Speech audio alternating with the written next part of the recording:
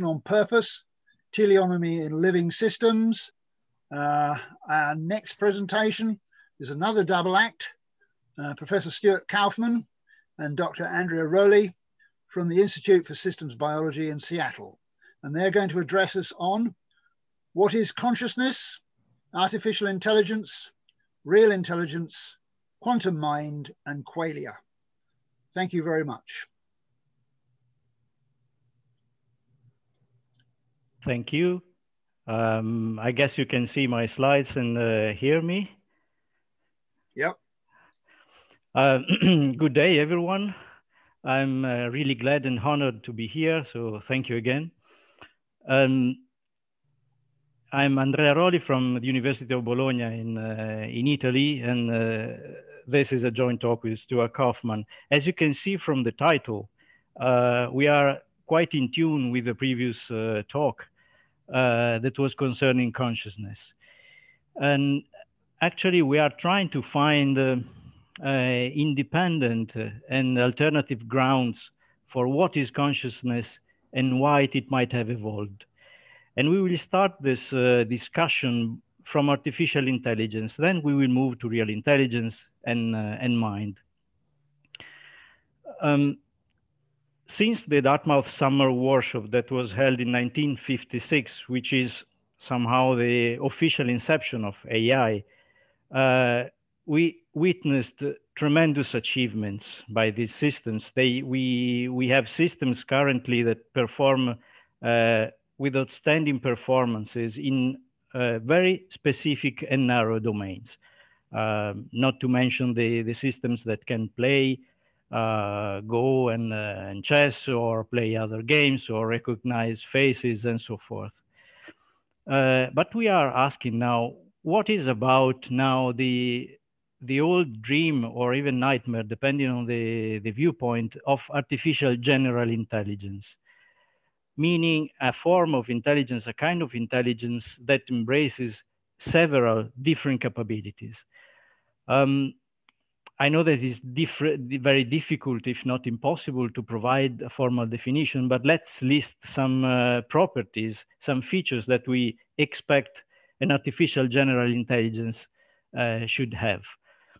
Mm, well, first of all, we uh, expect this to be able to reason, to learn, to infer, to use common sense knowledge, to autonomously define and adjust its own goals, to deal with ambiguity and ill-defined situations, and last but not least, to create new knowledge representations.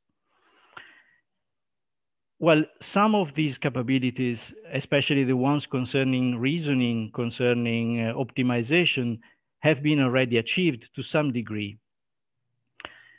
However, we have to observe that current AI systems fail in dealing with ambiguity and especially in creating new knowledge representations. And we believe that the reasons for that, for this failure, rely in the fact that these properties have their ground on affordances. So let's discuss this and see the implications of uh, the properties of affordances for uh, computers and Turing machines.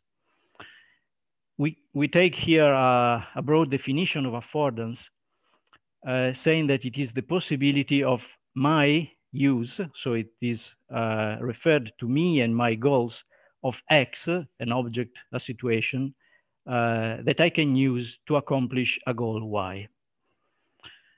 Um, evolution uh, makes uses of makes use of affordances in that organisms stumble upon ever new affordances that are opportunities for them, and they seize these affordances by heritable variation and natural selection. And in this way, new opportunities, new opportunities are taken and new opportunities are opened. Ever new uh, adaptations are now the result of these seized affordances we humans do something similar uh, when we do jury rigging, when we combine objects and use tools in such a way that uh, the goals that we have can be achieved. and we articulate objects, we articulate the properties of the, the tools in such a way that the problem we have to solve in order to get to that goal uh, can be tackled. We have to observe here that any physical object has alternative uses of diverse causal features. And an example for this is the engine block. Of course, it can be used as an engine in a car, uh, but I can use it also as a chassis for a tractor. No one forbids me to use it as a paperweight or to lock the door against the, the wall if there's wind, or uh, I can use its corners to crack open coconuts. You can see that we can articulate this object in many different ways depending on the goals that we have. And if we look at this uh, uh, phenomenon, look at this process uh, in more detail, we have to observe that there is no deductive relation between the uses of an object. I cannot deduce the fact that I can use the engine block to crack open coconuts from the fact that I'm using it as a paperweight or as an engine in a car. And the number of the uses of the, the engine block of any object alone or combined with other things, we may say it's infinite. Well, Actually, no, it's indefinite, it's unknown because it depends on my goal, my actions, my affordances, the affordances that I see. And moreover, there is no ordering relation between the different uses of an object. So I cannot say that one use comes before another one. Therefore, all the uses of an object are not listable. And this has a profound implication and consequence on what we can do with computers.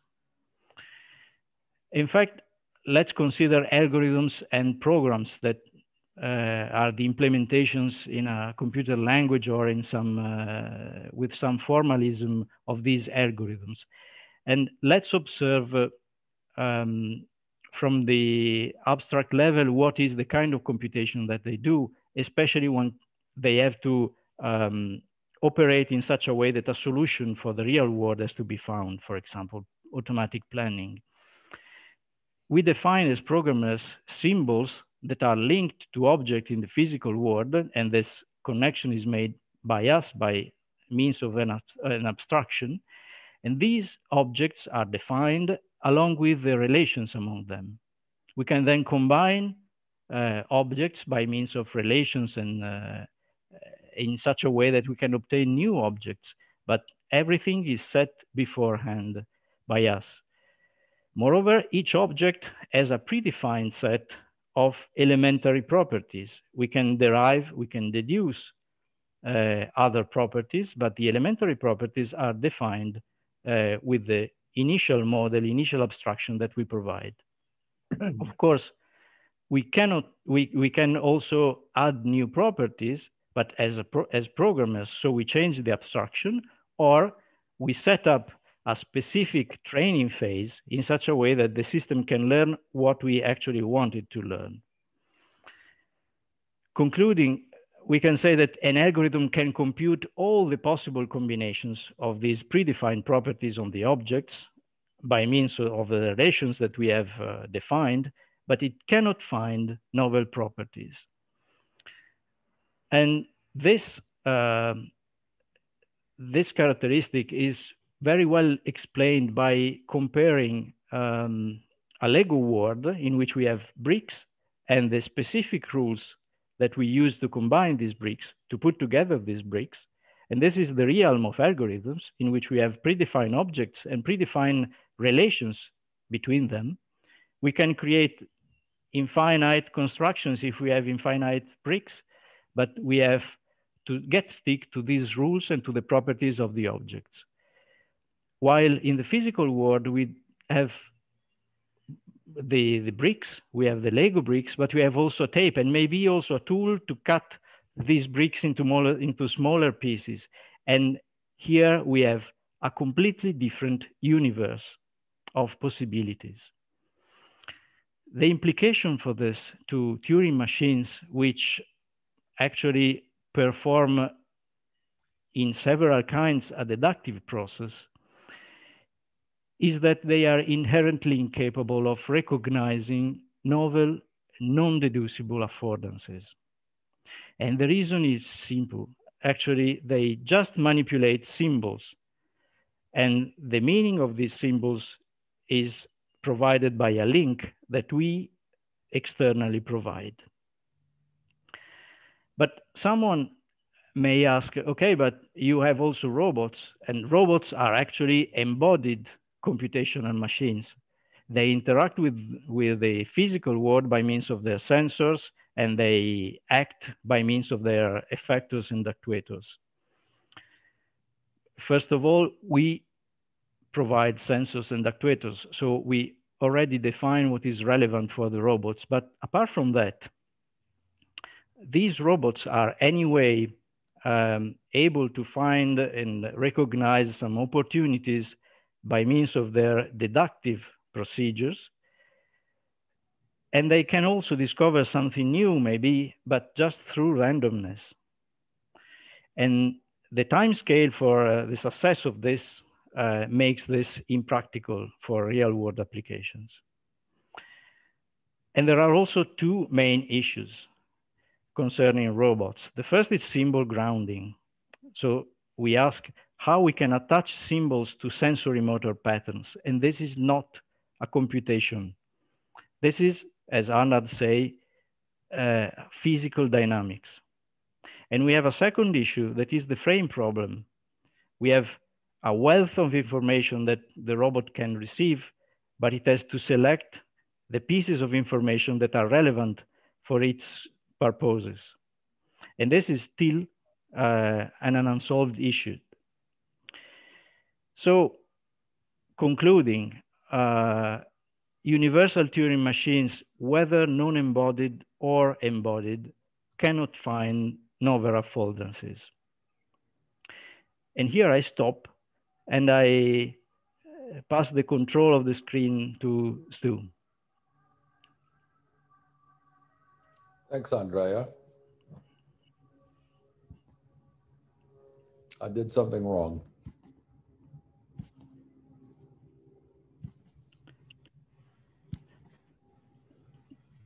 You, you have to, to select the window of PowerPoint. So just, just stop sharing. I have, I have ruined it. No, that's okay. Uh, do you have the PowerPoint open? Because I can see the dot under the PowerPoint, so it should be open. I am not seeing you at all. I've done something terrible.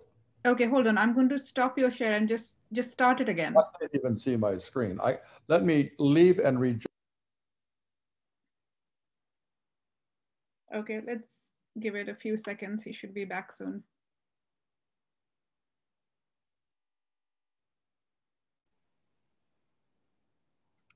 Can you see me? Yes.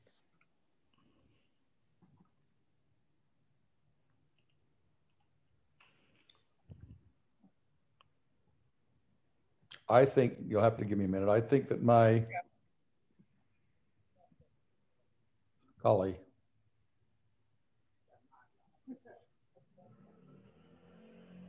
Andrea, do you by chance have his presentation and can you run it?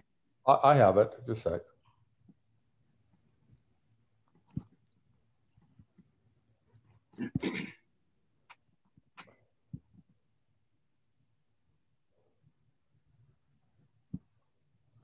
Sorry, everybody. Andrea, I still have your document. Can you get up mm -hmm. mine? Something's happening. Uh, you should open your uh, PowerPoint presentation. Is it open? No, I can't open it. Ah, do you want me to share this for you? Yeah, this is really weird. Oh, it just came up. Never mind. Okay. Uh, now, I do. Sorry, everybody.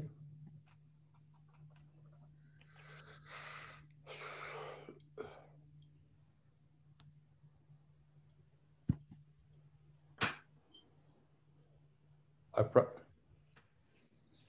Andrea, can you share it for me? I only see your screen. Yeah, sure. Just, just a moment.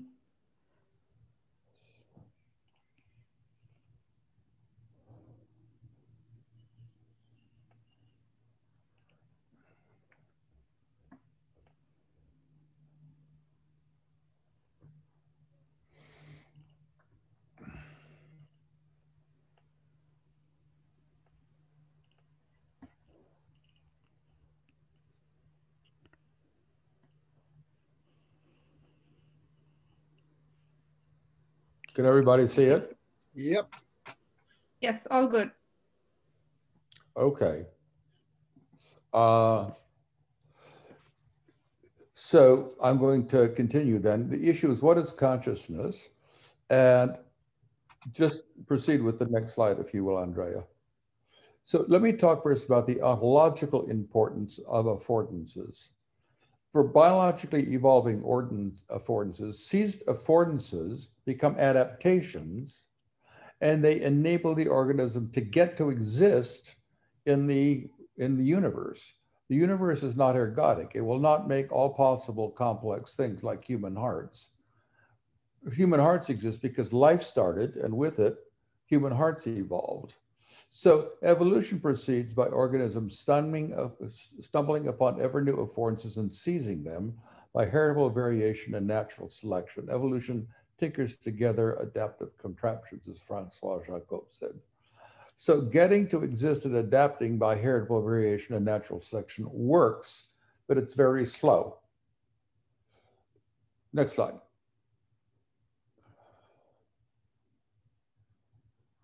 So Harnad says, in animal and human behaviors, the issue is doing the right thing with the right thing, but that's precisely making use of an affordance, an opportunity. This is beyond compatibilism, the problem in the philosophy of mind, and it bears on the symbol grounding problem, as Andrea just said, and that solution requires solving the hard problem. We think we may be giving a way to solve the hard problem. We'll see what you think, but there's been no problem and no progress on the hard problem for a very, very long time. To come to the conclusion that Andrea came to, neither non-embodied or embodied universal Turing machines can see novel affordances. This means something very big, assuming we're correct. It means that no classical dynamical system, no classical physics dynamical system can see affordances. But we can. So how? For example, we can see and laugh at the idea of using an engine block's corners to crack open coconuts. How do we do that? So I want to turn now to the alternative possibility that mind is quantum. There's evidence for it, and then we will show you, if you will, a logical need for it. So in, in quantum mechanics, uh, if you know about it, there's this amazing phenomenon called spatial non-locality that Einstein thought was impossible. Uh, and roughly it is, if you have two entangled particles, and they're now uh, billions of miles away, and if you, quotes, measure one and say it becomes up instantaneously, the other is, for example, down, but light cannot have gotten between the two in the interval. So Einstein thought that spooky action at a distance. It's been confirmed. The universe is non-local. Well, given non-local, spatial, and temporal, it allows for the possibility of famous psi phenomenon. Uh, so I'm going to show you there's now quite astonishing evidence that there is psi phenomena, but that requires that mind be quantum. So one of the psi phenomena is psychokinesis. The idea is that mind can have physical consequences uh, elsewhere. Astonishing experiments have been done for 30 years. Uh, people place quantum random number generators around the world. It, it has been done, the data is available. And when, when a major event happens, like Nelson Mandela dies, and everybody is astonished by it, the question is, do the quantum random number generators behave in some non-random way? And the answer is they do. There is 30 years of data on it. Uh, it uses a, a meta-analysis, but, but in fact, the data is good to 7.3 sigma. Well, that's huge. It's something like one in a billion. So one is driven to say there's something going on where mind is having an effect on quantum random number generators, it's got to be quantum. There's very good evidence now for telepathy. Uh, I've actually experienced it once or twice. So if mind is quantum and there's non-locality, I can be non-locally connected to you if we are both quantum. So telepathy is possible. And there's evidence for that at six or so sigma, which is again, something like one in a couple of hundred million. And there's very good evidence for precognition. My own wife has had an astonishing experience. So there's some evidence already for quantum mind. It's, it's, it's very much good enough to pay attention to. Next slide. Now I want to take on the mind-body problem. So we all know we all know Descartes and his res extensa and uh, res cogitans. So Descartes said, uh, the, and this is the mind-body problem. There's res cogitans, mind, which is a substance, and res extensa, which is a substance. And somehow Descartes wanted mind to act on body. Well, as soon as uh, Newton came along, that runs into the following problem. In classical physics, the current state of the classical physics brain is entirely sufficient for the next state of the classical physics brain. So there's nothing for mind to do and no way for mind to do it. So that's the standard mind body problem. Furthermore, if consciousness happens, that consciousness can be aware of the world and witness it, but cannot change it. That's compatibilism. If so, why did mind evolve? It can play no role in the becoming of the world. Heisenberg in 1958, and I uh, rather independently proposed the following. Heisenberg said, the quantum state is not an actual, it's a kind of Aristotelian potentia standing halfway between an idea and reality. So you need to know about quantum superpositions. I think you do. It's it's the Heisen, it's the uh, Schrodinger cat alive or dead, and the statement the cat is simultaneously alive and dead does not obey Aristotle's law of the excluded middle, in which it's impossible for the cat to be simultaneously alive and dead. It's a contradiction. But try the word possible. The cat is simultaneously possibly alive and possibly dead. That's not a contradiction. So Heisenberg proposed, and I want to with him, that the world consists in ontologically real possibles and ontologically real actuals, and measurement or actualization converts a possible to an actual. So this is Heisenberg's view. I will advocate it too. Notice that it's not a substance dualism. Possibles are not substances precisely because they don't obey the law of the excluded middle. So it does not inherit the mind body problem. And as far as I know, it's the first philosophic approach and quantum approach that adds a new concept and a new way of thinking about the mind body problem. And as soon as you say it, there's a possible role for mind. Mind actualizes quantum potentia. Well, it's not a new idea. Von Neumann said it, Wigner said it, Abner Shimony said it, uh, and Andrea and I are saying it. Mind actualizes quantum potential. The astonishing thing is there's now evidence for it. Dean Radin has done the following experiment. It's now been done 28 times. You sit either next to Dean or somewhere a thousand miles away, and he says, try to alter the intensities of the adjacent light and dark bands of the two slit experiment. And you could do it a little bit. It's now established that data supports it at, at one in 50 million. Well, that's very, very good. If it's true, it alters the foundation of quantum mechanics. As his mind plays a role in quantum mechanics, it means that responsive will is not ruled out because you can do it. One in 50 million is strong. If it was one in you know 10 billion, we'd start to really accept it. It's enough to take seriously. Next slide. That means we can do it. So here's the hypothesis explicitly for the mind body problem of consciousness. Our mind brain entangles with the world in a vast superposition. We try to and we do collapse the wave function to a single state. We experience that state as a qualia. So that's, that's the hypothesis.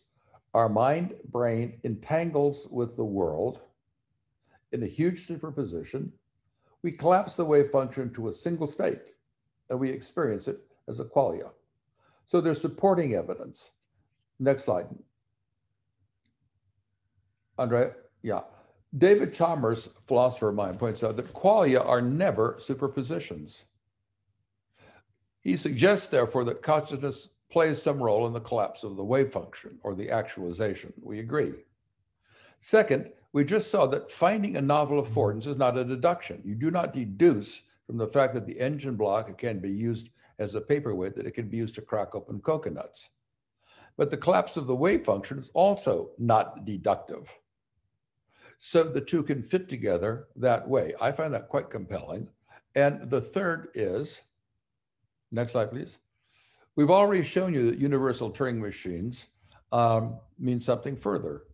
The evolution of the biosphere with, with philosophic zombie organisms can only stumble upon new affordances and see them and see and seize them by heritable variation and natural selection. Well, it works, but it's very slow. What if we are conscious and aware and free willed, which we all want, which is what Eva just referred to, which we can be by what Andre and I just said. Next slide, please. So there it is. In stunning contrast, given uh, Radin's result, where we can free will collapse the wave function, we are sentient, free will organisms. We can literally perceive new affordances search for, pay attention to those affordances.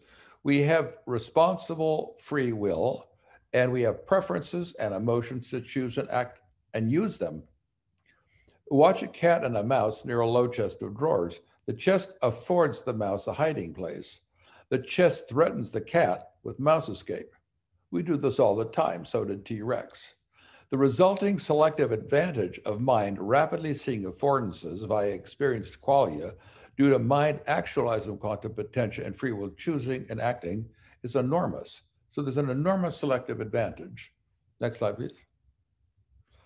Therefore, we can say, if we accept this, what we want in this entire group. Mind did evolve with diversifying life, and it did play a large role in the evolution of life that was far more rapid than were organisms' philosophic zombies. Niche construction is at least one major area in evolutionary biology where purposeless behavior plays a role. Next slide. So I now want to turn to a possible trans-Turing system in the remaining few minutes. We've already shown you that a classical physics system can't do it. Well, I think there's a way of something, inventing something that's not a quantum computer. It's something that may be much more interesting.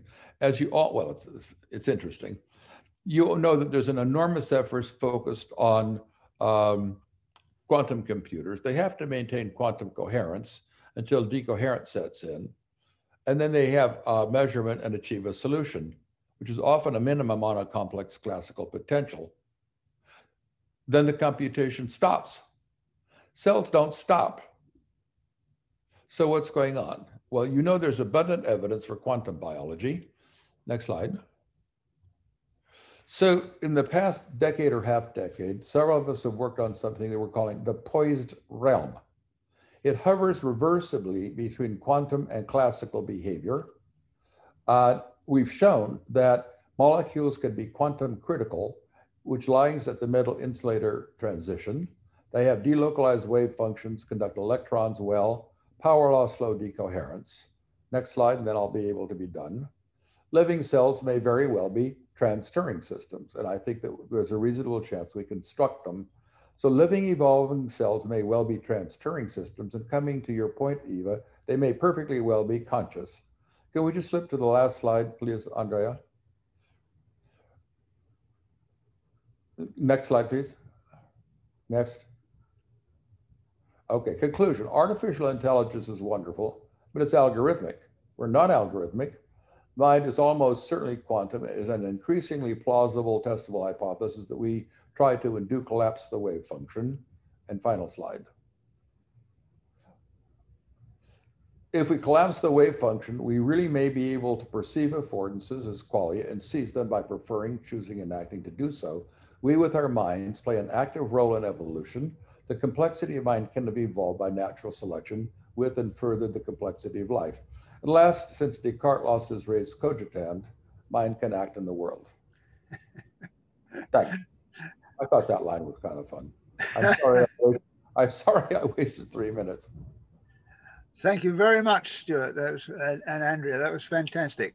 Uh, I'm afraid we're just about on time, so um, we can't even uh, thank you properly. But anyway, that was that was super, and I look forward to seeing the missing slides later.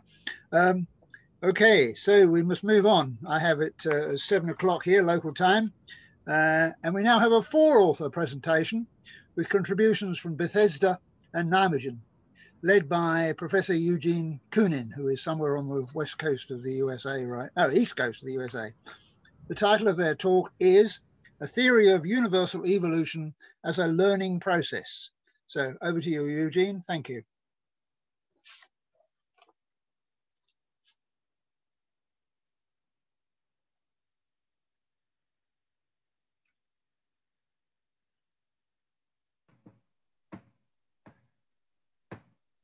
Okay, I will now start my talk.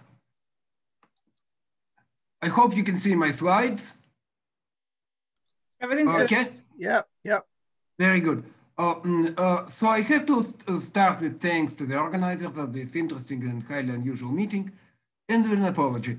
Uh, uh because uh, mm, uh, the talk that I'm presenting now actually does not too closely correspond to the abstract Mm, in full confession, I was, I was hoping to present a new theory we are actively working on now, uh, but at the end of the day, I thought it was too much a work in progress. Uh, mm, so I will share some previous idea and, and evolving ideas on the uh, evolution of biological complexity at the interface of conflict and cooperation. Mm to a large extent, this is the discussion of ideas and sketches of theory, but we will also see some actual data. Uh, mm, so it makes sense uh, mm, to begin here.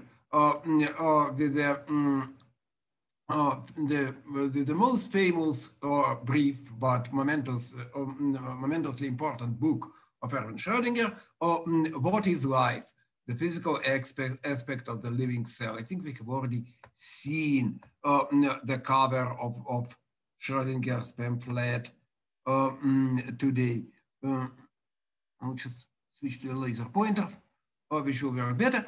Uh, mm, so, um, uh, in, in, in this uh, mm, classic book, Schrödinger uh, proposed several um, very consequential and important ideas, uh, mm, uh, one of which is that organism feeds upon negative entropy, or attracting, as it were, or, or a stream of negative entropy upon itself to compensate the entropy increase it produces by living, and thus to itself, uh, maintain itself on a stationary and fairly low entropy uh, mm, uh, level. Then whether or not negative entropy is a good phrase from the strict point of view of physics, or, mm, or the idea is crucial, or that organisms uh, mm, evolve Uh, mm, uh, mm, and exist uh, mm, uh by reducing entropy, by maintaining themselves in a non-equilibrium stationary state. Even more important and more general idea on which we will elaborate is that living matter, uh, while not eluding the laws of physics as established up to date, is likely to involve other laws of physics hitherto unknown, which, however, once they have been revealed, will form just as integral a part of science as uh, the former. The fundamental laws of physics cannot be uh, mm, defied uh, by anything and by uh, mm, living uh, organisms in particular, but that does not imply that there are no uh, perhaps also very important, laws that pertain to complex and in particular living system. Uh, and to um, uh, further emphasize uh, mm, the importance of, of such potential new laws, uh, we skip to 1972 to another most prominent condensed matter theorist, Philip Anderson, with this famous paper, very simple but famous and seminal paper, more is different, broken symmetry and the nature of hierarchical structure of uh, uh, science. Um, so, so um, uh, Anderson uh, spoke in this article uh, um, uh, about the hierarchical organization of science, but I believe, and, and we shall try to illustrate that in the rest of this talk, uh, that these principles uh, pertain to the organization of the uh, mm, entire world and in particular uh, mm, the, the biological uh, world. Mm, so for instance, the elementary entities of science X, say chemistry, uh, uh, obey uh, the laws of many um, body physics and as we all realize very clearly um, molecular biology or, obeys the laws of chemistry. So, and this, this principle permeates the entire hierarchical organization of, of the world in, in in a manner of uh, renormalizability, uh, speaking in um, uh, physical terms. Anderson illustrated this um, by, by this, um, I don't know, fictional or real conversation between two famous American writers, F. Scott Fitzgerald and Ernst Hemingway, which happened in Paris sometime around in early 1920s uh, Fitzgerald, the rich are different uh, from us. Hemingway, yes, they have more money. Uh, mm, so the question is, uh, mm, the crucial question to address is, is that really so? Uh, mm, uh, that the rich are different only because they have more money? or there are properties that emerge from this situation and are not readily predictable. Uh, so uh, another um, uh, skip of um, 30 years or so, and we get to these interesting, though much less famous, publications of other prominent uh, physicists, in particular Bob Laughlin, the Nobel Prize winner, and, and David Pines, uh, the first of which has this telling name, uh, the theory of everything. And they present here uh, mm, uh, these two equations uh, mm, from quantum electrodynamics, which for all practical purposes, they say, mm, comprise the theory of everything for our, our everyday world. However, it's obvious, glancing through this list of, they have the list of problems there, that the theory of everything is not even remotely a theory of every think. So these laws apply and the principle underlie uh, um, the entire structure of the world. However, they're exactly useless uh, mm, if we want uh, mm, uh, to understand how, for instance, living organisms uh, mm, live and evolve. We need something else, uh, something different. and uh, the ideas on that something different uh, mm, are proposed uh, in this other um, notable paper by Bob Laughlin and others entitled The Middle Way, where they indicate, among other things, that particular attention is paid to the possibility that as yet undiscovered organizing principles might be at work at the mesoscopic scale, intermediate between atomic and macroscopic uh, dimensions. Uh, these new laws that um, Schrödinger alluded to might emerge at different scales. I'll skip another um, mm, uh, 18 years in this case, not that long, uh, mm, to our own work with um, mm, uh, a senior member of my lab um, at the NIH, Yuri Wolf, uh, and a prominent physicist from condensed matter physicist from uh, Radboud University in the Netherlands, uh, Michael Katsnelson, where we try to address the physical foundations of biological complexity and how complexity could evolve in biology and beyond. Mm. Uh, mm, uh, so we argue in this paper that the physical foundation for understanding the origin and evolution of complexity, including the unprecedented hierarchical complexity of uh, mm, biological systems can be thought at and particularly gleaned uh, and possibly gleaned at the interface between the theory of frustrated states resulting in pattern formation in glass-like media and the theory of self-organized uh, mm, uh, criticality. I will illustrate this uh, mm, in, in a moment. Uh, but our conclusion from this paper, which I think I will try to um, um, emphasize and elaborate in, in the, in the uh, rest of my talk, um, is that frustration caused by competing interactions in multi-dimensional systems uh, could be uh, mm, general. Perhaps we should, this is ambitious. Maybe we should have said at general, but let it be. As we say, uh, the general driving force behind the emergence of complexity within and beyond uh, the domain of biology.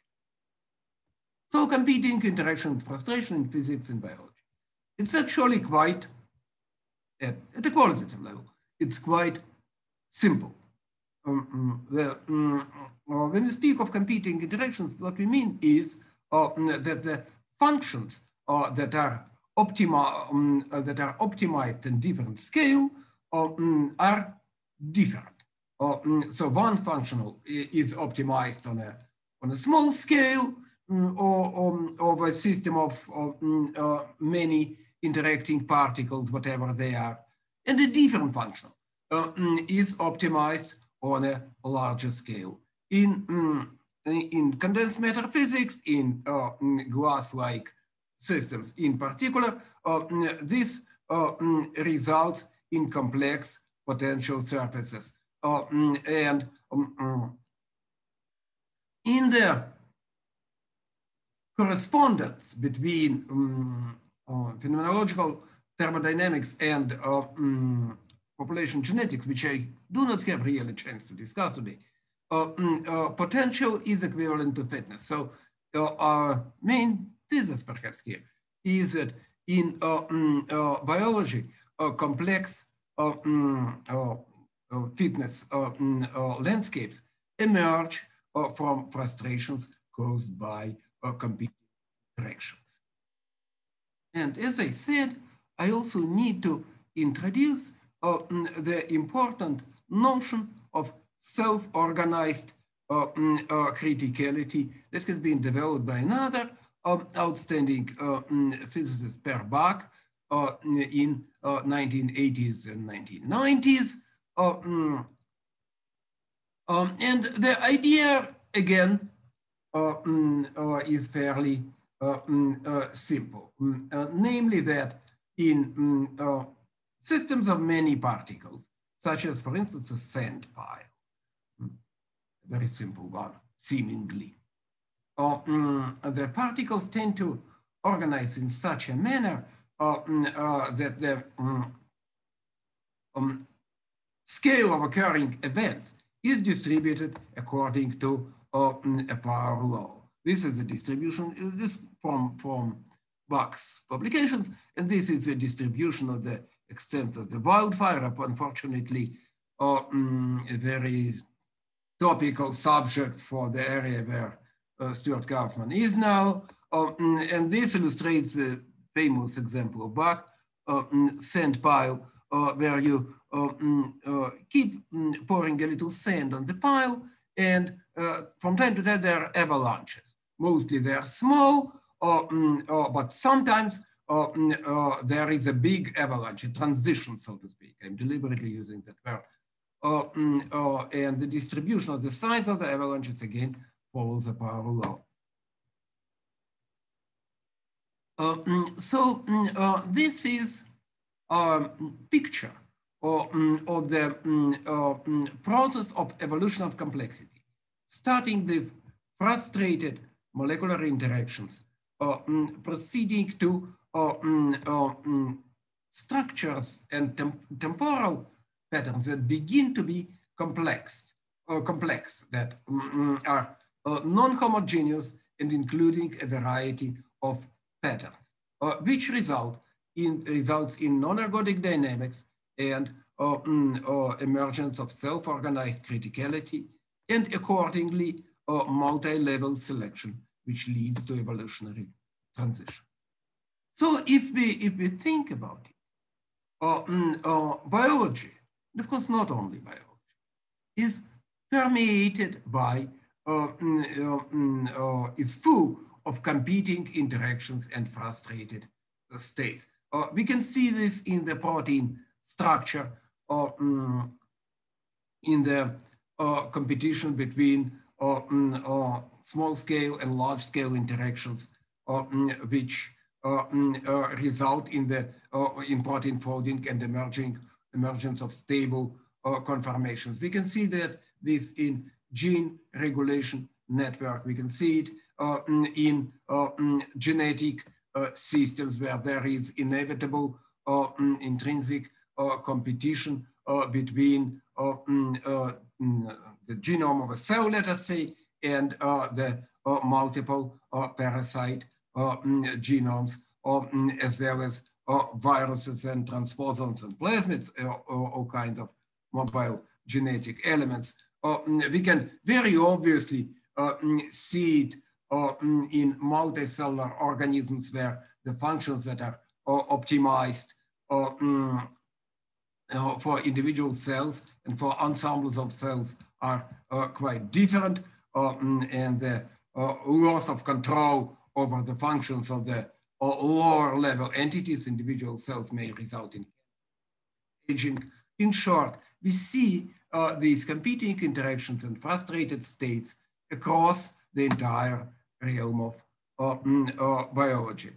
Mm. I also want to continue uh, uh, the parallels with uh, condensed metaphysics physics and in this classic paper by Phil Anderson, uh, by uh, pointing out uh, that phase transitions, both in physics and biology, are intimately linked to fundamental broken symmetries. And we can see many of these in biology, such as the famous central dogma, whereby the information flow goes only from nucleic acids to proteins, mm, such as host-parasite interaction coevolution, or whereby mm, um, the host is responsible, so to speak, for all production of resources, parasites make more or less nothing.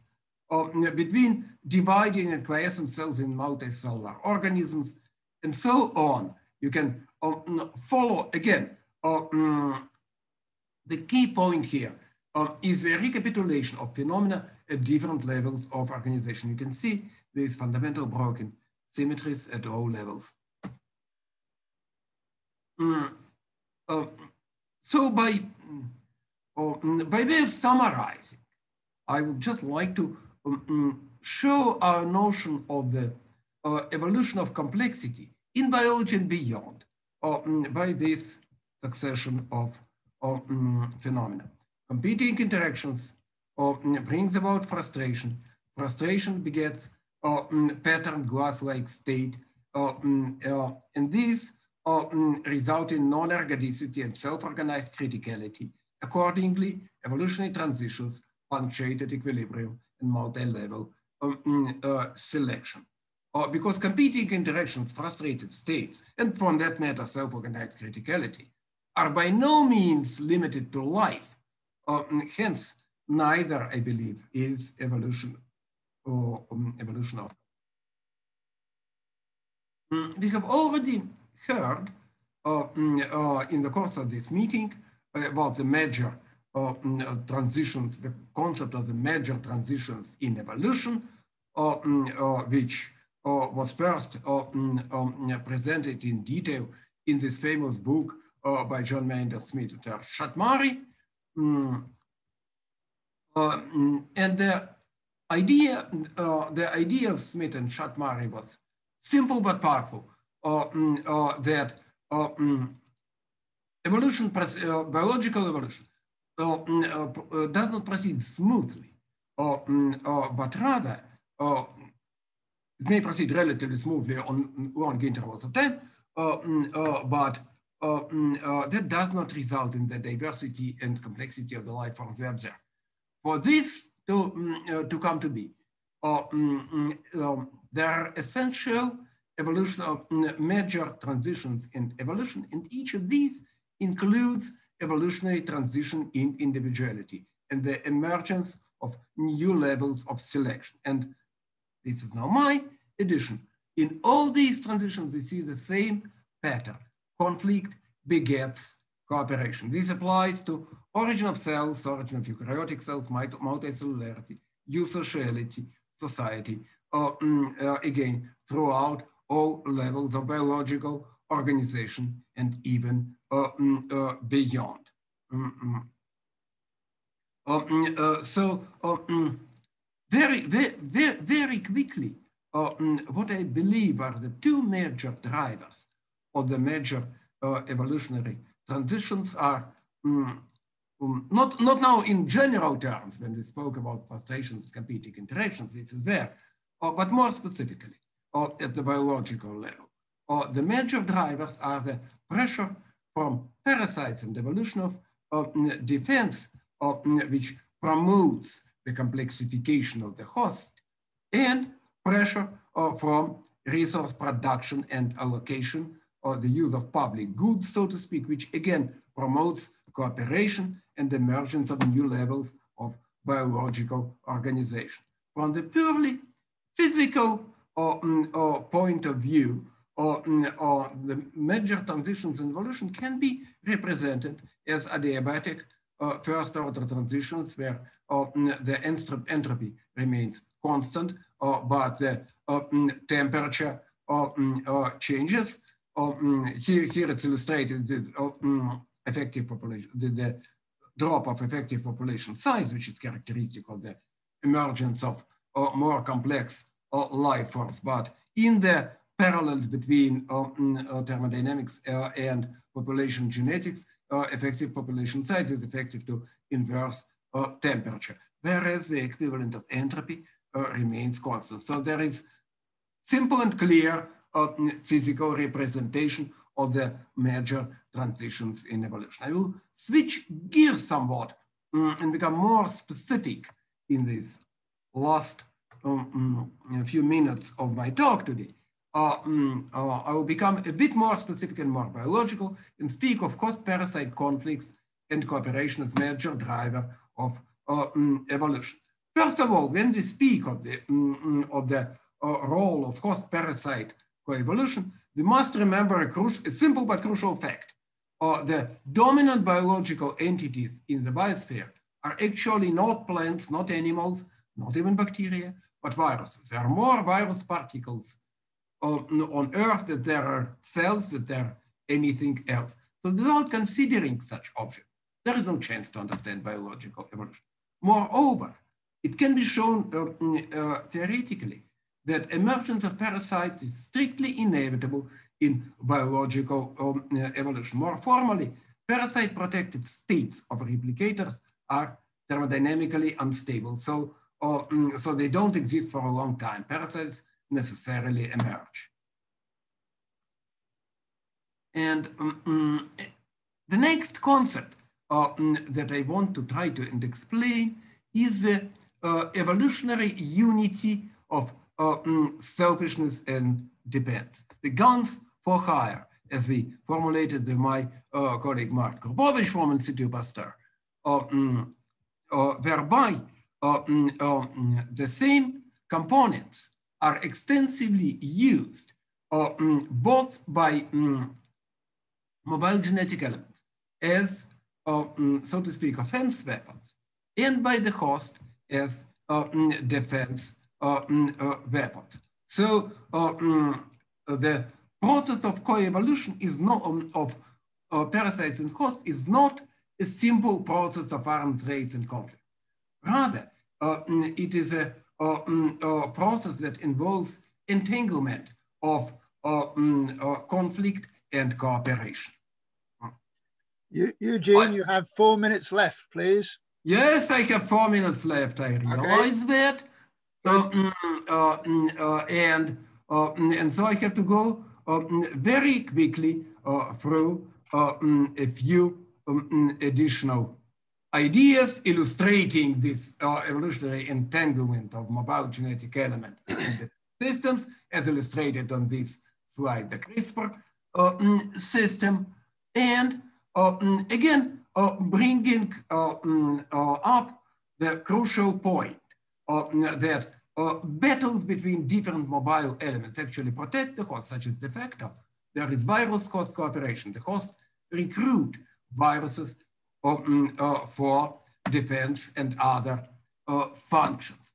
Now we have to, uh, there are many and many examples of this evolutionary uh, entanglement of parasites. Of course, unfortunately, we have to go through this mm, very quickly and just summarize or, or by, by emphasizing that perennial parasite-host conflict and arm races combined with co-option of mobile genetic elements for cellular functions, defense, but far beyond, drove evolution of cellular organisms, including the whole cells, the first cells, multicellularity, and most likely other methods. This is a major biological universal, if you will. And now I would really like to present a new um, mm, scenario, um, scenario for the um, origin of life uh, developed on these ideas by myself and my colleague uh, Puri Lopez Garcia from Université Paris-Saclay. Uh, but effectively, I have no time to do that, unfortunately. Uh, uh, but uh, very quickly, the idea is that the origin of life consists from a mutualistic merger of reproducers, that is phys reproducing physical structures of um, uh, cells that provide supplies for all kinds of um, biochemical reactions and replicators, mobile biogenetic elements uh, um, that include viruses, but in reality, the cellular genomes are also a form of replicators only not parasitic, but cooperating uh, fully uh, with the reproducers. Fortunately, I don't have the opportunity to present you details, and I will just uh, mm, uh mention a, a, few concluding thoughts. Uh, mm, so complexity appears to be an inherent consequence of frustration caused by competing interaction. In that sense, we may say that this is a teleonomic phenomenon. Um, there is an inseparable entanglement on conflicts and cooperation that permeates and drives evolution. Life can be um, represented as a merger of reproducers and replicators that become mutualists. Again, another emergent uh, um, uh, phenomena. Um, so I think I already formulated this. Conflicts begets cooperation, vice versa driving the evolution of complex systems, importantly, both physical, chemical, and biological. All these factors are universal properties of evolving systems. So I dare ask, is emergence of life actually likely under suitable or chemical or, um, or conditions? Many people, including myself, have tried to somehow, uh, on the back of the envelope, uh, uh, calculate uh, mm, the odds uh, mm, for the origins of life. And the odds are quite terrible. It seems to be uh, mm, virtually impossible and we need to uh, invoke the multiverse or something like that to, uh, mm, to account uh, mm, for the origin of life. But could it be that we are actually barking on the wrong tree and the mm, emergence of uh, life is uh, more or less a natural result of the evolutionary drive for complexity, starting in purely physical-chemical evolution. And to, the last thing to say is, our goal here is a general theory of evolution. And if such a theory is possible, it hardly can describe a unique phenomenon. And here are uh, my collaborator, um, um, my colleagues from, from, my, from my lab, uh, and my uh, collaborators uh, from different parts of Europe who made key contributions. And thank you all very much for your attention. Okay, Eugene, thank you very much. Uh, very challenging. And I look forward to seeing the, uh, the, the, Peter and I will look forward to seeing the manuscripts.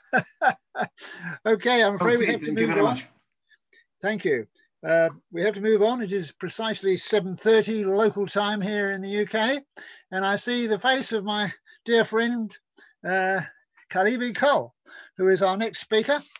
And uh, Kalevi is from uh, Tartu in Estonia, and he's going to address the question, how do organisms choose?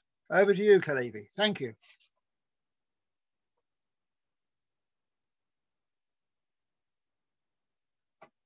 You need to unmute, Kalevi. Dear friends and lovers of biology, uh, I would like to share my screen please host, give me this opportunity. You should be able to share, Kalevi. Could you try again? Yes. All good. Does this barn swallow have a freedom of choice where to sit? Or any other organism? Whether life has some freedom? Is freedom an attribute of life? If yes, then what are the minimal conditions for freedom? I'm going to speak about the sources of a piece of, of, a piece of freedom in life or uh, primary subjectivity, if you like. And uh, let me use as a motto uh, the words uh, from Victor von Weizsäcker, a German physiologist who used Jakob von Uexküll's model of functional circle and developed it further, describing the Gestalt circle, Gestalt and time. He wrote, life is not a sequence of cause and effect, but choice. I'm a biologist. I've worked with birds and plants as a field ecophysiologist, studied theoretical biology, and stepwise arrived to understanding that life is deeply related to meaningful information processes, which is the aspect studied by semiotics. Now I'm working in the field of biosemiotics in the University of Tartu, Estonia. The focus of my talk is basically two recent papers which both speak about choice as a biological process. One by uh, Brothers Noble and other by myself, and not only these. So our aim is larger and more fundamental, to introduce the concept of choice into biology. Of course, I can only introduce the topic of choice in organisms briefly. Um, um,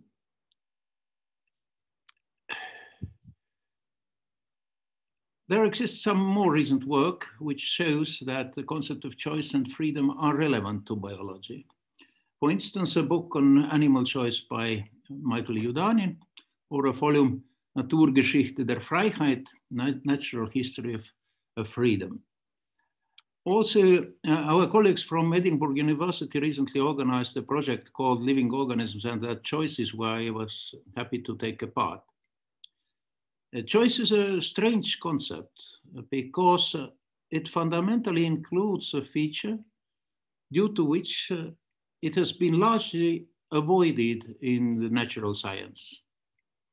Choice is the phenomenon that is situated exactly on the border between physics and semiotics, between the natural sciences and the sciences of mind, which means it will also allow to connect these two cultures. Moreover, the choice is also in the heart of the contemporary big paradigm change in the understanding of evolution. That's uh, why to talk about it today in this teleonomy conference. The problem of choice is fundamentally related to understanding of evolution. The contrast between neo-Darwinian and post-Darwinian paradigms includes a couple of oppositions. Either organisms are replication devices or they are causal interpretive agents. Either environment selects or organisms choose. Either the main factor of evolution is passive natural selection or active organic fitting. Or, as uh, every experienced biologist certainly understands, evolution is based on both. But then the question is, in which relationship? This uh, contemporary debate under the label of uh, extended synthesis or third way has uh, some similarities with the debates of a uh, century or a century and half ago even um, indeed, the topic of our meeting, teleology and teleonomy, takes us back to the late 19th and early 20th century when this was widely discussed in biology. On the other hand, the return to these discussions means that the scholars of the time understood something important that was largely forgotten or devaluated for some time in the biological thought. First, of course, the major opponent of Darwin among his contemporaries, Karl Ernst von Baer, my countryman. He also already made the distinction between teleology and teleonomy using the terms Zielstrebigkeit and Zweckmäßigkeit, really close to the later teleonomy teleology distinction. Another work which provides an extensive analysis and review of directedness of evolution together with providing many biological examples is Nomogenesis by Leo Berg, which was published in Russian in 1922. Berg was a leading anti-Darwinian scholar in Russia at the time. It is remarkable that the English translation of Lev Berg's book was introduced by D'Arcy Thompson and Theodosius Dobzhansky. And the third one uh, to add here is Jakob von Uexküll. His uh, distinction between the two kinds of adaptedness precisely corresponds to the contrast what is at stake now.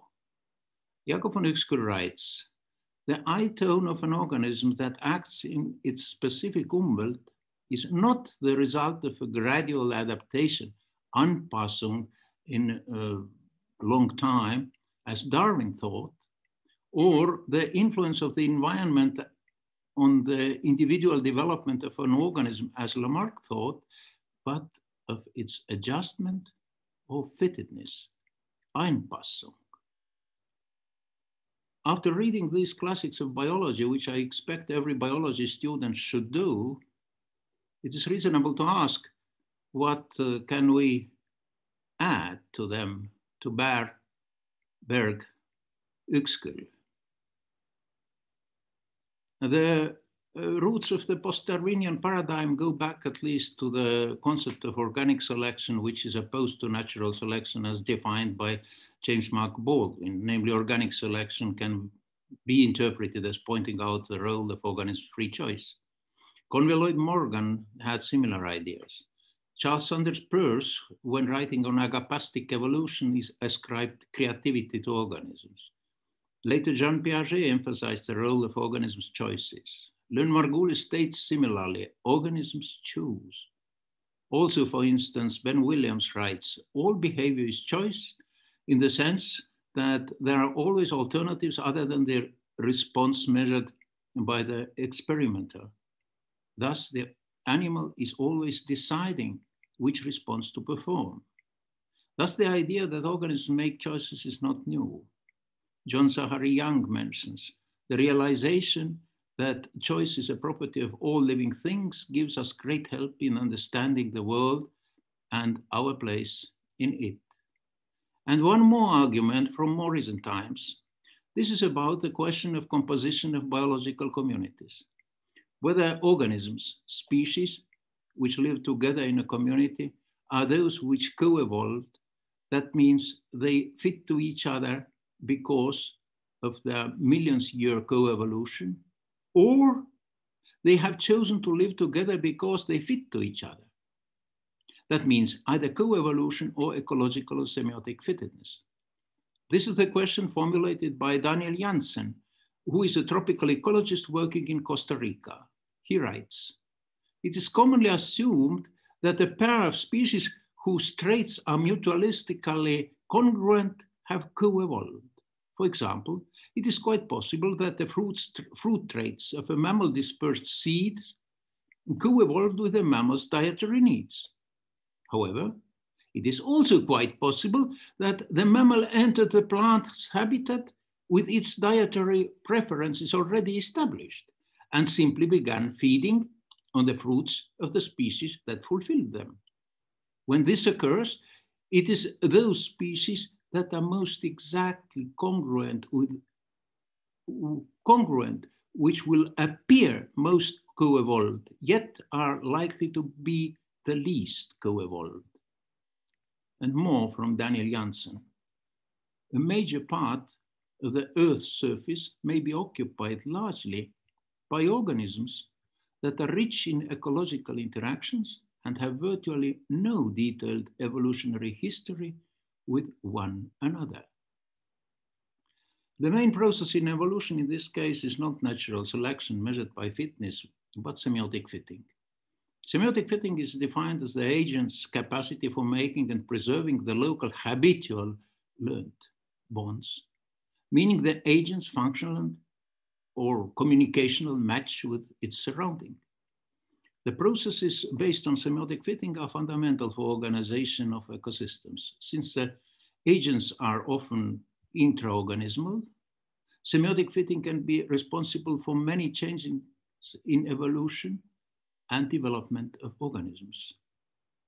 Actually, the same distinction was made by Jakob von Uexküll between Anpassung and Einpassung, passive or active, selection or choice. However, we can uh, go on and notice that while pointing on choice, this is more than plasticity. In case of plasticity and epigenetic inheritance, organisms' freedom is not yet necessary. Therefore, it is reasonable to make an additional distinction which results in three basic types of evolutionary mechanisms one classical neo-Darwinian, in which new comes from random mutations. Then second, based on the role of plasticity and self-organization. And the third, in which case the innovation is based on choice. And all these three mechanisms have the neutralist and the adaptivist versions. The neo-Darwinian, the epigenetic, and the semiotic evolution can all be both neutral and adaptive. We should make distinctions between these. An important point here is also that choice can be neutral, which means that there can be an arbitrary choice even without any purpose or goal. In other words, this means that choice is more fundamental than goal or purpose goal and purpose presuppose the capacity to make choices. But now closer to the concept or model of uh, choice itself. The problem of understanding choice is probably most fundamental and most challenging in today's biology. Choice includes uh, choice of food, choice of habitat, choice of partner, choice of direction of movement, etc. While in order to be a choice, it uh, should be in some extent free. Our aim is to analyze the general features of choice process. I'll try to explain this as based on two recent works which directly address the problem of choice in living beings and provide a model of choice.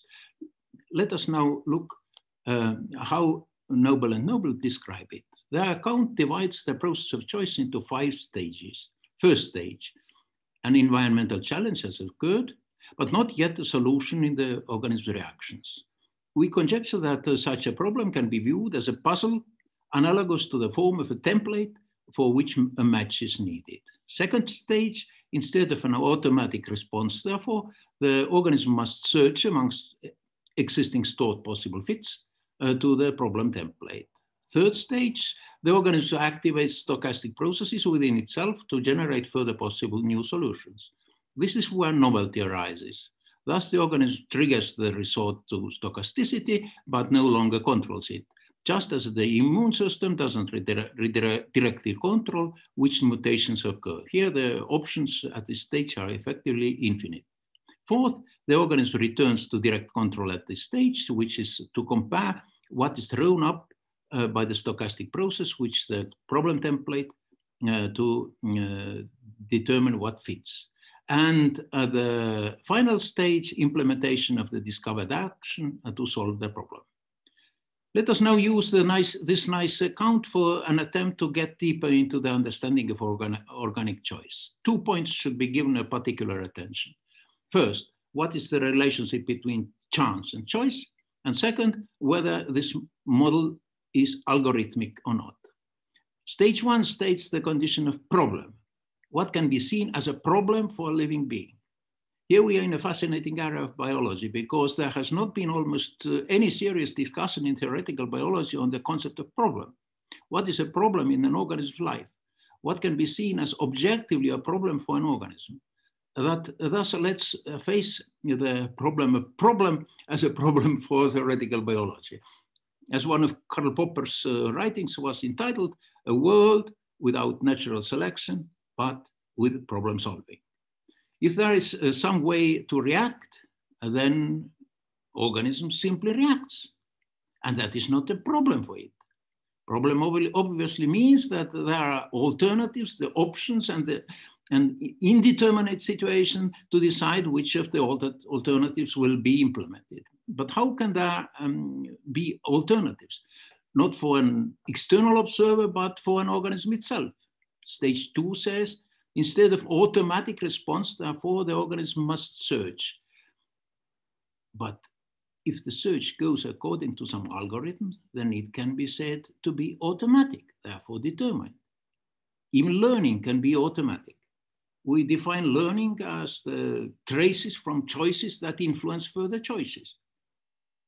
It seems that the process as described by Noble and Noble can be described as algorithmic in order to search, in order the search to be a choice, it should be, however, indeterminate, which means it should not be based on some algorithm, which means it should not be sequential. If there is for each step a given way to behave, even if the situation is new, then there is no indeterminism, no freedom. Once again, what does it mean instead of automatic response? how can that be that uh, there is a physiological or there is physical body in some environment and the system doesn't know what to do from a physical point of view this is absurd because the system behaves in some way anyway however it makes the point makes sense if we have in mind the situation in which more than one way is open more than one possibility in time in order there to be choice, that means alternative ways to behave. There should be a situation in which the alternatives are somehow presented. And in order that these to be alterna alternatives, these should be presented simultaneously. There cannot be freedom due to stochasticity only. Uh, also, an algorithm doesn't provide freedom. Freedom can be only due to multiple possibilities in interpretation due to indetermin indeterminacy in decision making, which means due to arbitrariness, the main concept of Saussurean semiology. While considering situation when the alternatives are provided to organisms simultaneously, then a true indeterminate situation can appear. A little scheme might be of some help here. Landscape with branching valleys. If rolling downwards, then the branching points at bifurcations, that is not a choice. That's rather pure chance. Indeed, Waddington, when describing the epigenetic landscape, did not speak about choice. But change your sight and assume that the close end here is the higher one. If climbing upwards, that means when doing work, as any agent does, the situation could be different than on the earlier picture. Still, if the climber is blind, then the situation is not much different from the previous one. The path taken will be random. But if the climber is not blind, which means it has receptors which can provide a sign in advance about the two or more possibilities, then the choice can be possible. Just what it needs is to see both paths, both paths, both valleys simultaneously. In principle, two receptors might be sufficient for this. Here, however, an additional feature is implied because simultaneity means a brief moment of present. This is a teeny period in which what is presented can be simultaneous, can be seen together without determined sequence. That is what was described by Jakob von Uexküll as Umwelt, as internal model of environment, which begins from most simple construction of space and time. The elementary process, which includes a piece of indeterminacy in order to be an interpretation, is called semiosis. Semiosis is where choice happens. Semiosis is then another concept that general biology has to accept and naturalize. That's also how information gets its content. The information organisms Uh, are using has its content called meaning or quality. That's the whole realm studied by semiotics, the qualitative meaningful information. The problem of teleology is essentially about the problem of time and freedom as these exist in living beings. There are several types of directionalities in development and evolution. Most of these mechanisms are deterministic or a mixture of stochasticity and determinism. What we are pointing out here is that there is also a place for a process which is based on indeterminacy, which is not randomness, which means not chance, but choice in the conditions of indeterminacy. This is also a question of the source of novelties in organic life. A problem or a problem situation for an organism in the general sense is a situation in which the behavior has to be indeterminate and the choice making has to be possible. This occurs if uh, coupled uh, functional systems face mutual incompatibility. For instance, perceptions from two sense organs order the opposite actions of the same effector, or a perception orders two effectors that lead to opposite actions. This is, a, this is a situation in which organism's behavior is not fully determined by its habit. That means when organism is a little bit confused when it has to negotiate between the options. Due to motivatedness provided by homeostatic mechanisms or needs, the choices organ organisms are making are not random. They are certainly deviated or motivated, but in all these cases, in free life, the behavior is neither fully determined nor stochastic.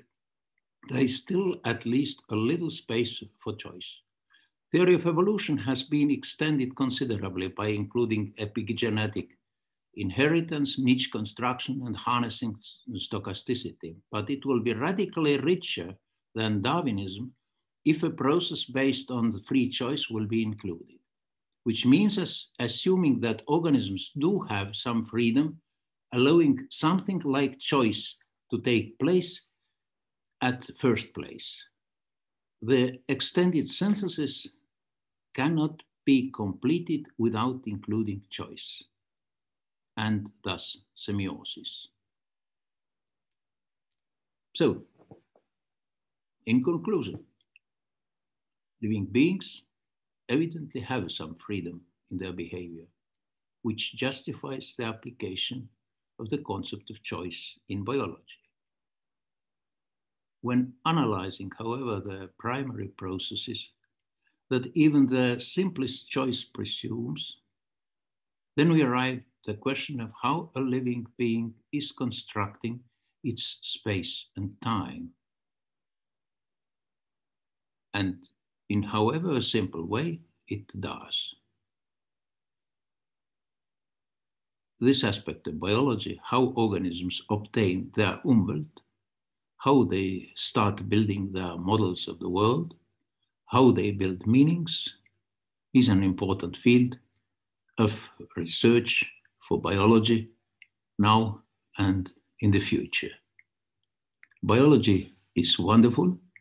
Biology is meeting semiotics now. Biology has to meet semiotics.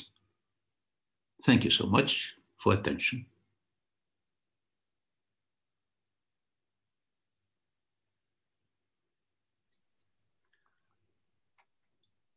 Well, thank you very much, Kalevi, for a very clear uh, presentation, full of interest, and yet another amplification of what we have heard uh, from many others already. Uh, it, it, this is this is really exciting.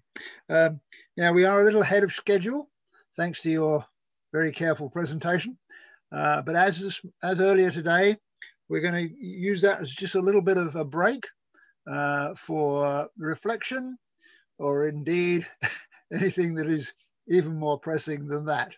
So we'll start again in about three minutes um, at, uh, at the hour. Uh, it's eight, it will be 8 p.m. here in the UK. And when at 8 p.m. we will have our last talk for this session, uh, which is a recorded uh, presentation. Anyway, we're going to have three minutes uh, sort of peace, and then we'll start again in about three minutes time. Thank you all very much indeed. And thanks again, Kalevi, for a splendid presentation.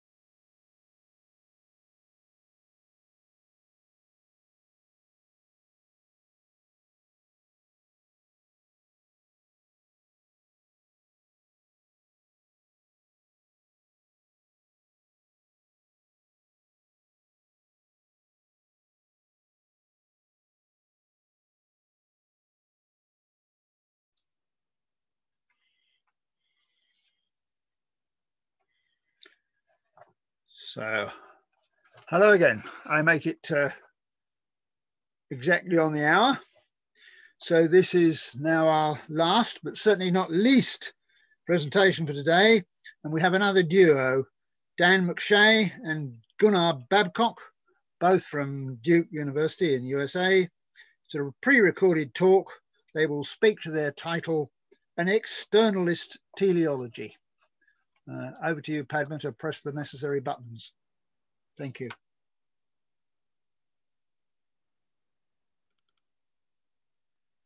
Um, can someone let me know if this is full screen? Because I realized that it wasn't full screen. Is this okay? Uh, that you had it full screen a moment Hi, my ago. name is Gunnar Babcock, and uh, I'm going to be presenting an externalist teleology today with Dan McShea. Um, I'm going to take the first half of this presentation, and then Dan's going to take over for the second half. Um, we're at the Department of Biology at Duke University. Okay, so the kind of overview of what we're going to be uh, arguing for is I'm going to start with um, Aristotle and a division he makes between two types of teleological explanation. Uh, one's uh, artifactual kind of model, and the other is a natural model.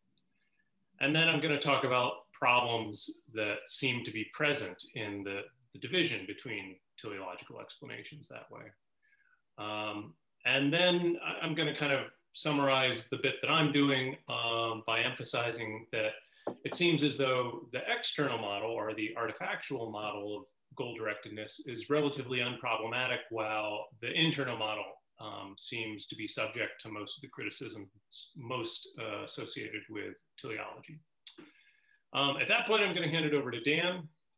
And Dan is going to talk about field theory, which is a, a, theory we've developed a little bit in this project, but it's based on work that Dan's been doing for uh, over a decade.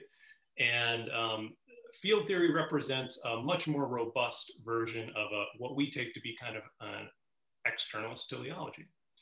Um, and then Dan's going to address um, what we take to be kind of the hard cases, uh, which are development and intentions, and um, how field theory is actually able to explain development and intentions better than any of the internal models are able to do so.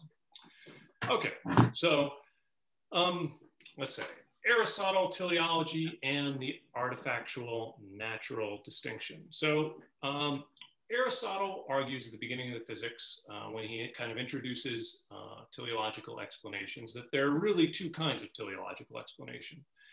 Um, the first is one that looks to an external source of motion or change um, for how a thing uh, has the goals that it has and is directed in the ways that it's directed. So um, these would be the things that Aristotle calls artifacts. And uh, kind of one of the classic examples that he uses is if you want to explain um, why a house is the way it is, uh, you, you point out the builder, whoever built the house. Um, that explains why the house um, developed and was directed uh, to take the form that it has. Um, and in that way, very clearly, the builder is external to the house, it is the cause of the house. Now, Aristotle also says that um, there are internal sources of motion and change uh, that direct objects, and these would be, for Aristotle, the natural objects. So in a case like this, again, just a, a very basic example would be something like if I go to the market, um, I'm displaying a, a, teleological kind of behavior there. And um, to explain that behavior, that uh, you might point out something like my intentions. I had the intention of buying bread, and that seems to explain why I got in my car and went to the grocery. So two types of explanations, uh, according to Aristotle. Now, how do the two compare? Um, for Dan and I, uh, and it seems like the majority of the scientific community, and certainly for, for most biologists, it seems as though um, an external source of direction is um, teleologically for um, teleological entities, it's common and, and they're unproblematic. Um, you know, pointing towards something like um, a builder building a house, you know, it doesn't require any spooky metaphysics. Now, on the flip side, however, um, internal sources of direction seem to introduce problems for teleology.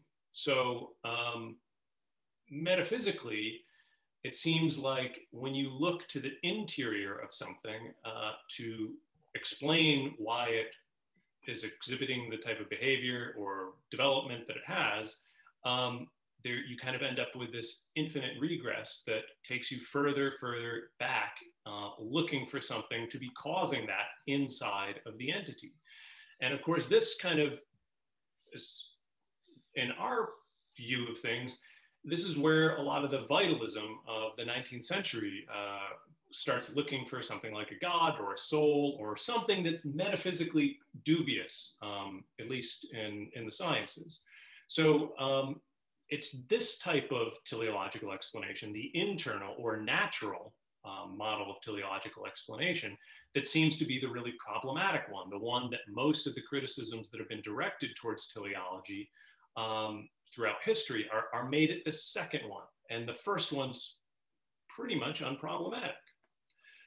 Okay, so how does this relate to what Mayr is up to uh, with teleonomy? Well, um, for Mayr, um, instead of pointing towards something that seems kind of outright metaphysically objectionable, um, what Mayr is trying to do is uh, make a division and suggest that the teleonomic processes are um, un undergirded by something like a program.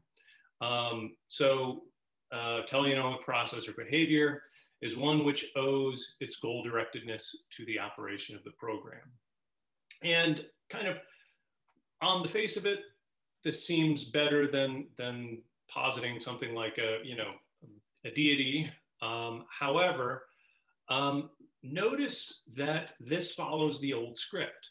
Uh, it's looking internal, internally to teleological entities to locate their goal directedness. And it's what Aristotle would have considered a natural model or an internal model of teleological explanation. Um, now, there's more nuance in there to be talked about for sure. In, in certain ways, um, Mayr departs from Aristotle's natural model because he definitely thinks that such kind of internal programs can extend to artifacts like human programmed things. Um, so there would, you know, there's more to be said there. But really, um, I'll point out that uh, Mayr does say that Aristotle's kind of conception of an eidos or form um, really has many remarkable similarities to what he considers a genetic program. So for Dan and I, though, um, the question that kind of lurks in the background of what Mayr is up to is are, genes really developmental programs? And I think that there are a lot of reasons to maybe suggest that that's a mistaken view, or at least a problematic view. Um, this is linked up to all sorts of problems related to, you know, what is information actually, um, and if you can figure that out, does DNA count as information? That's very unclear.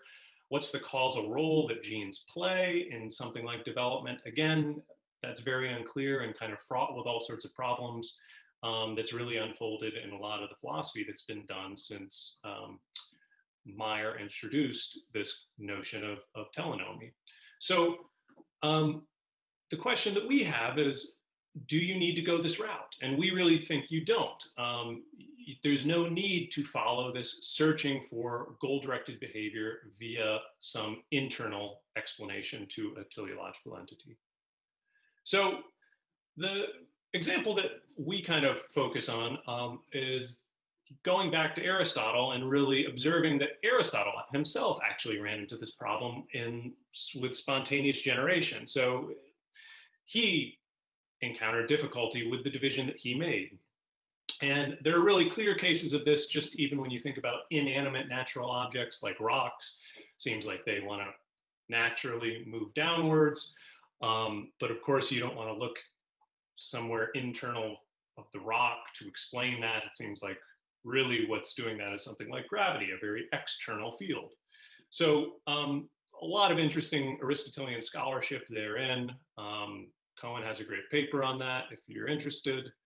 Um, but a better place to kind of look at some of this uh, actually comes from um, Aristotle's theory of spontaneous generation. And uh, numerous people have actually criticized Aristotle for being inconsistent here. So Hull and Lennox have done this.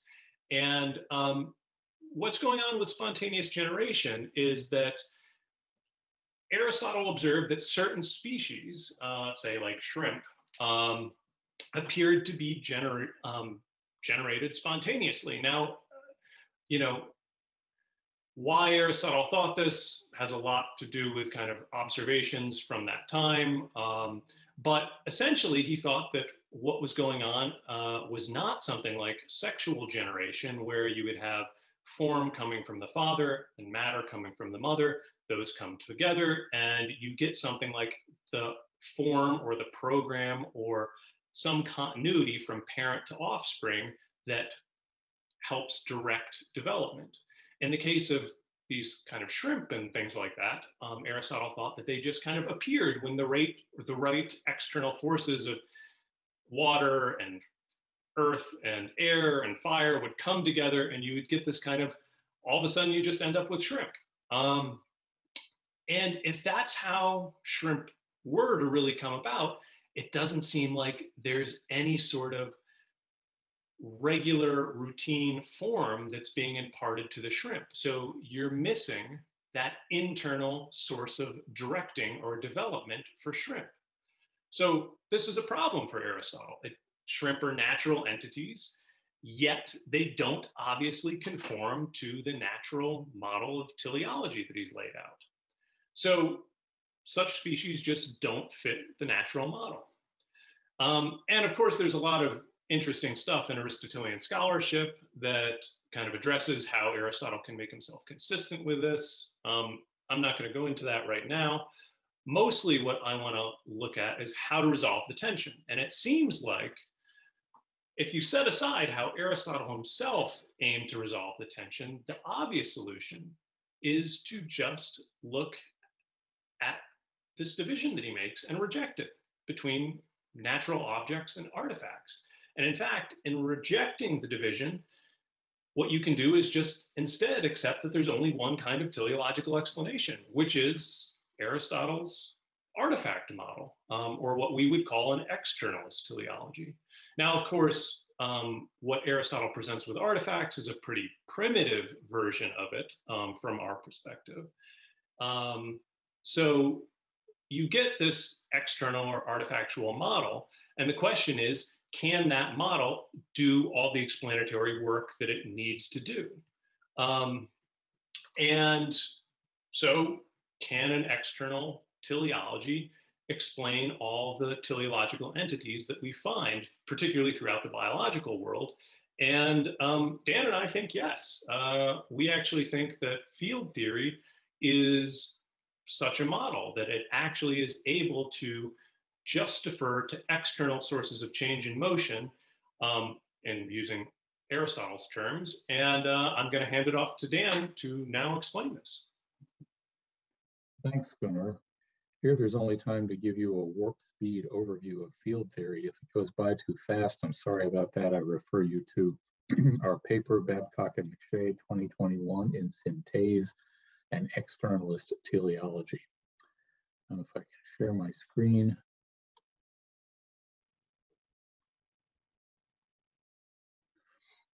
We have recognized five general categories of goal-directed systems. Uh, in particular, the first one, uh, physiological behavioral systems. An example of a behavioral system would be a bacterium following a food gradient or a moth circling a flame. An example of a physiological goal-directed system might be temperature homeostasis, homeostasis in mammals. Uh, innumerable examples could be mentioned here. Second category is technological goal-directed systems, for example, a homing torpedo or a GPS system. We think of evolutionary adaptation as natural or natural selection as a goal-directed system in which a lineage tracks a fitness peak, a lot like a homing torpedo tracks a target. These first three are the easy systems, easy in the sense that it's easy to see how the directedness for the goal-directed entity is external. The last two are harder. In developmental systems, acorn turning into oak tree, uh, embryo turning into adult more generally, it looks like the direction has to be internal, like it comes from the genes, and that was Mayr's solution to the problem. Human intentionality, wanting, preferring, intending, again, it looks like the directedness of human intentionality comes from inside somewhere. We're going to argue in both cases, developmental and human intentionality, the direction is external. We're also going to argue that all these systems share a common architecture, that in all cases the entity is directed toward goals by an external field. We call it field theory. Before I get to it, uh, a historical note. Uh, 20th century philosophers of science, uh, some of them were interested in, in the question of how to define goal-directedness, coming up with necessary and sufficient conditions for it. Notably, Ernst Nagel came up with the, the idea that persistence and plasticity and a couple other features were central to defining goal-directedness for him, persistence was the tendency of an entity to return to a trajectory toward a goal after perturbation. So for him, persistence was error and correction, error and correction, the consistent finding of a trajectory toward a goal after uh, mistakes are made, after deviations occur. Plasticity for him was the ability to find a trajectory toward a goal from alternative starting points. Again, this was a philosophical project his interest was in defining goal directedness. We're going to adopt his persistence and plasticity criteria, but not in the interest of using them definitionally. For us, they're just signature behaviors of goal directed systems. Ours is an engineering project to discover um, in causal terms how persistence and plasticity are achieved. Our externalist theory, again, is field theory. It's derived from hierarchy theory. Uh, the intellectual debt is to Stan Salthe, Bill Wimsatt, Herbert Simon, and Donald Campbell. Uh, Gunnar and I argue that there are four architectural features of goal-directed systems. We're only going to talk about the first two here. The first one is hierarchy.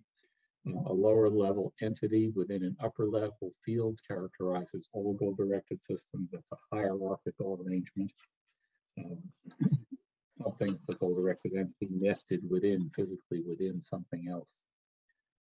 And then um, upper directedness. Our claim is that lower level goal directed entities are directed by an upper level field, that they, the upper level field is a kind of boundary condition, a large external structure of some kind that tells the upper, the lower level goal directed entity where to go, what to do, how to behave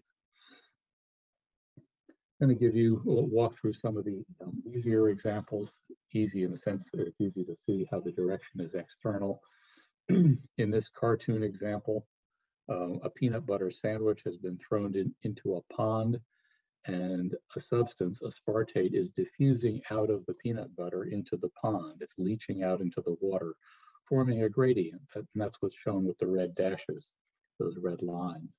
Uh, that's the aspartate gradient. Then in the upper left, you see a bacterium with a flagellum that feeds on aspartate and it's moving up gradient in, goal, in a goal-directed way toward the peanut, peanut butter sandwich, propelled by the flagellum.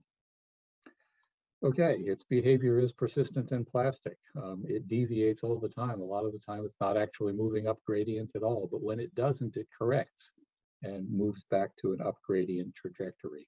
In other words, in our terms, it's moving up the food field. It's moving within and up the food field.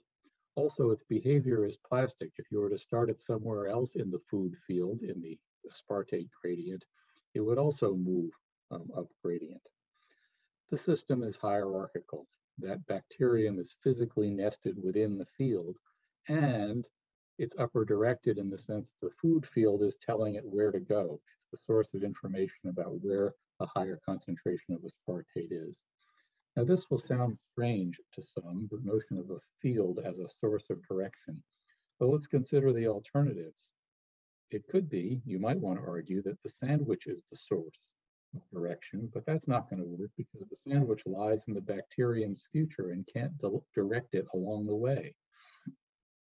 Another possibility that might occur to you is the internal mechanisms of the bacteria do the directing the complex gene switching network inside the bacterium controls the flagellum.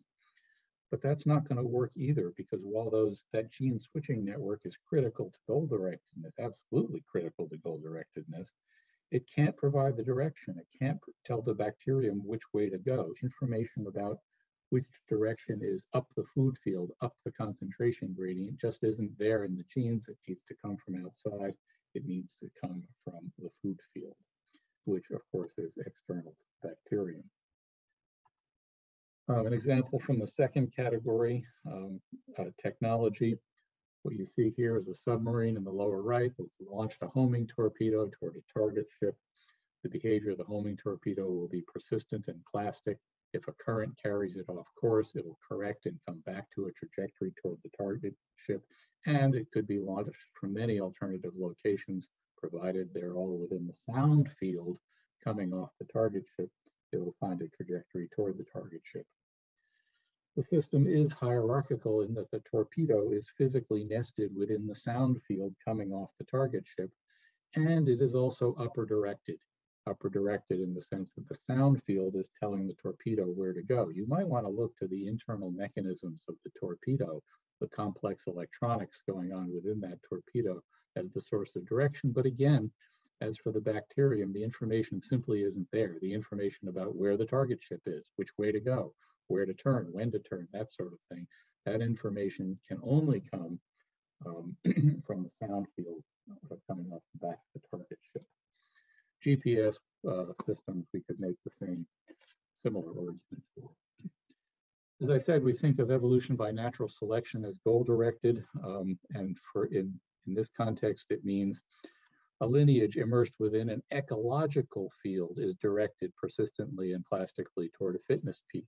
And in the example shown here, we're talking about the evolution of neck folding in turtles.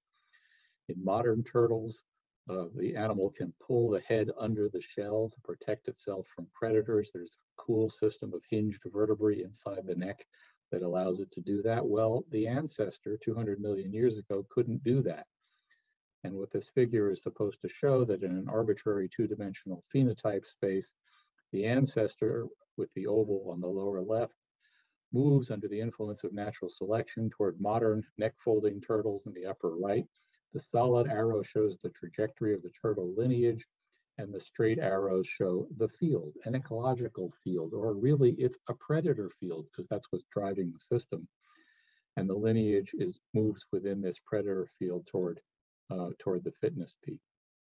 The system is persistent in plastic. Mutations are happening all the time. Environmental changes are taking place.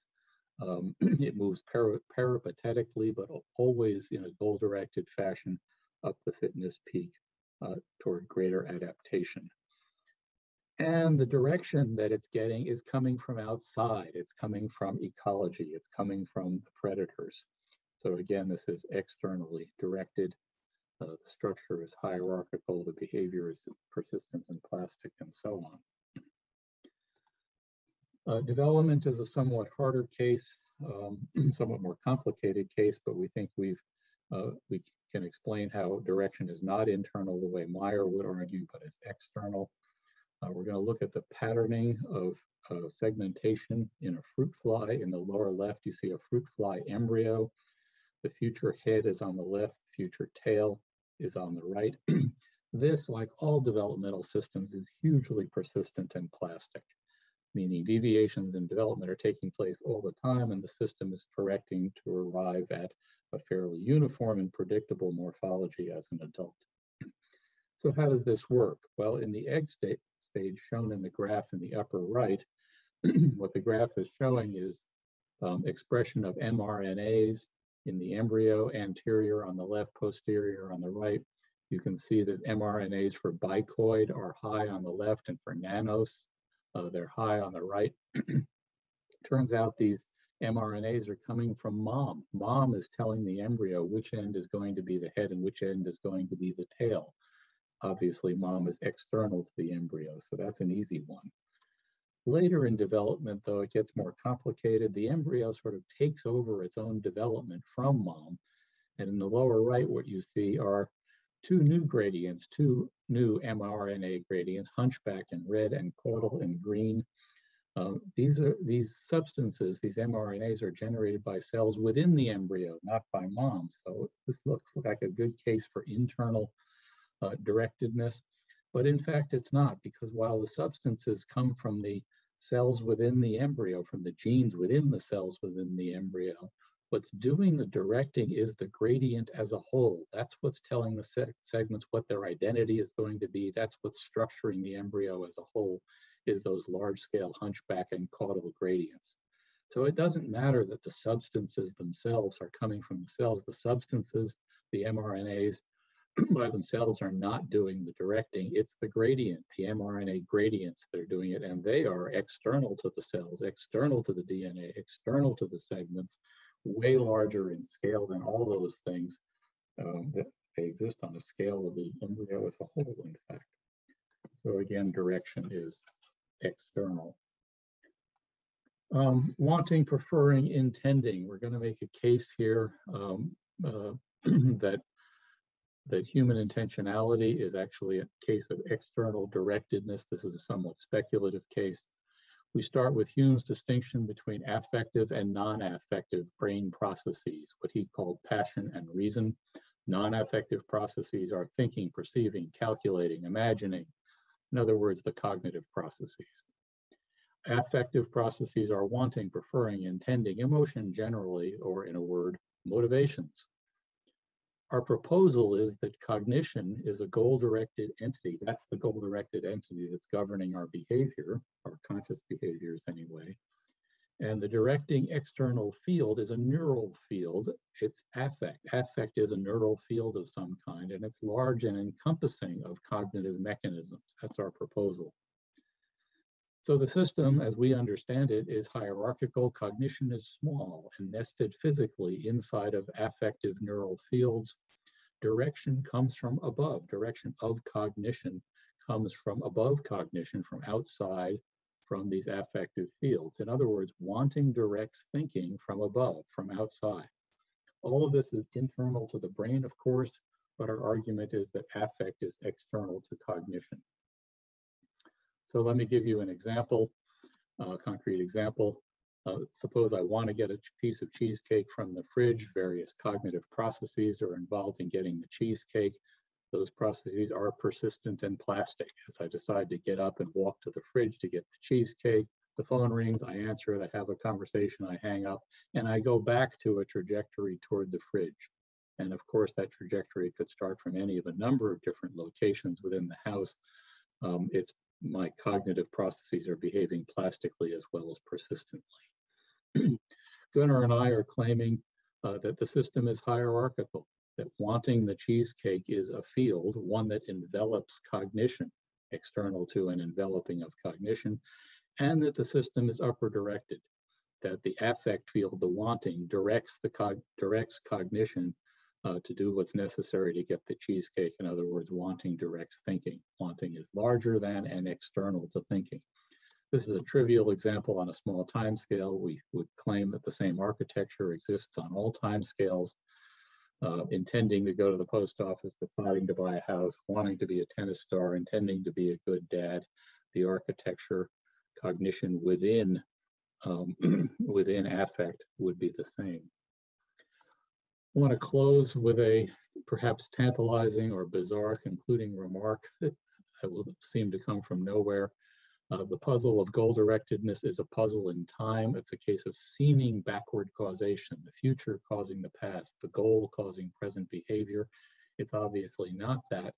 But our solution is that the problem and the solution are both spatial, that it's the field that's solving the problem that's doing the direction. A goal directed entity at any given moment is nested within the field and for it the field is everywhere. No matter where it goes in space and therefore no matter where it goes in time there's the field telling it where to go. Goal directedness is field based external field based okay well thank you very much. We'll stop there and i hope you'll forward any questions you have to us by email